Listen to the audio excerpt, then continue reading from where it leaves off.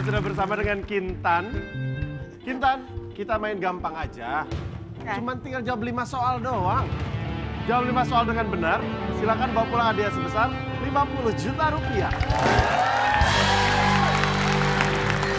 Kalau sudah siap, kita akan mulai permainannya. Oke, siap. Siap, kalau begitu kita mulai. Ini dia babak Dream Box.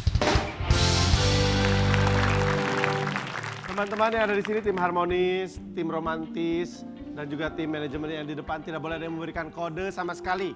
Nggak boleh ngasih, "Shh, shh, shh, ya, ya, ya. Apa ngangguk-ngangguk, geleng-geleng, karena jawaban kalian atau gerakan kalian bisa mempengaruhi jawaban Kintan. Ya, kalau ada yang melanggar peraturan seperti dalam sepak bola kita kasih kartu kuning. Itu peringatan pertama, kalau masih melakukan hal yang sama kita kasih kartu merah, harus keluar dari studio ini. Kalau sampai ada membocorkan jawaban, keceplosan ke atau apa itu kita langsung cancel atau anulir hadiahnya. Siap Kintan? Siap. Ini waktunya kamu deg-degan. Kita mulai soal pertama menuju 50 juta rupiah. Apa istilah dalam bahasa Inggris untuk celak atau penggaris mata pada kosmetik yang berfungsi menegaskan bentuk mata? Eh, eyeliner. Yakin? Kunci? Kunci. Masih ada waktu? Kunci. Tiga detik lagi. Kunci? Kunci. Kita kunci. Jawabannya adalah eyeliner. Betul.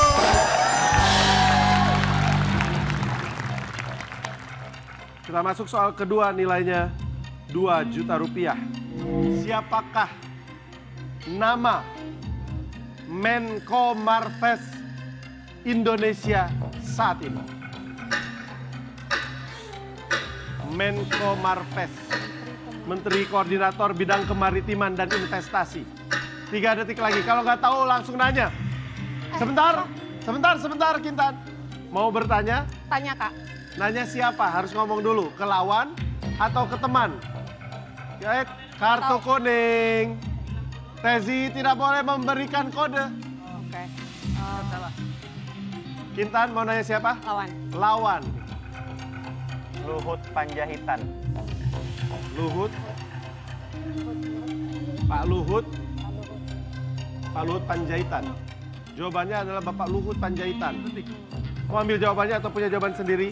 Siapa nama Menko Marves Indonesia saat ini? Luhut Panjaitan. Kunci? Kunci. Kita kunci.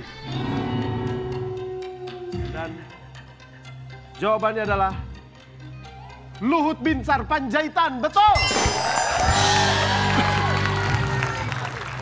Satu juta rupiah untuk tim romantis. Kita masuk soal ketiga nilainya 3 juta rupiah.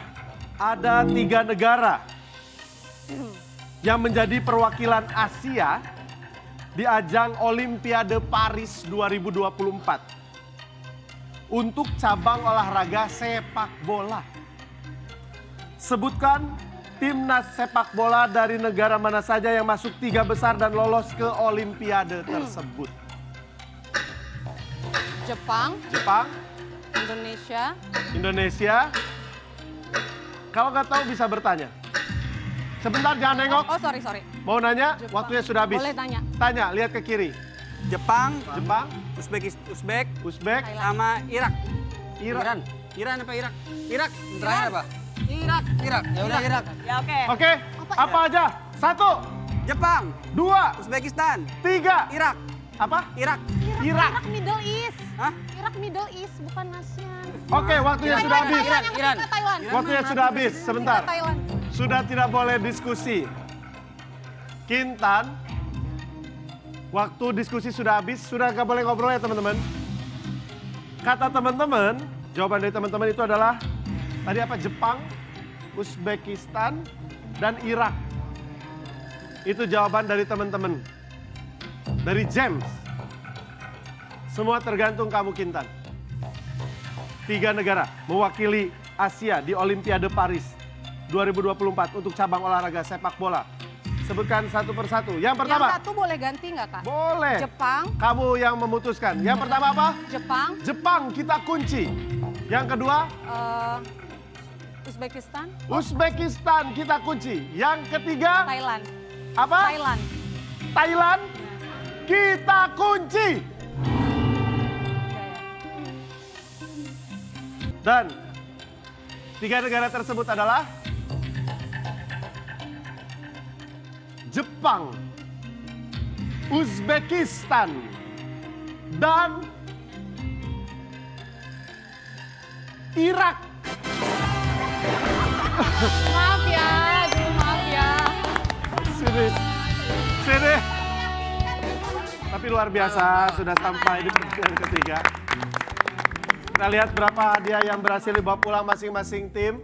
Tim Harmonis membawa pulang cookware set, air fryer, dan juga uang sebesar 5.650.000 rupiah. Romantis, ini hasil serok sama lempar box tadi ya. Dapat tempat saji dan 6.650.000 rupiah. Selamat untuk tim romantis dan juga harmonis. Terima kasih banyak. Dan untuk pemirsa sebuah quotes untuk menutup sore hari ini. Pemirsa, kita itu lebih baik ditertawakan karena belum bisa menikah. Daripada nggak bisa tertawa setelah menikah. Iya, aduh.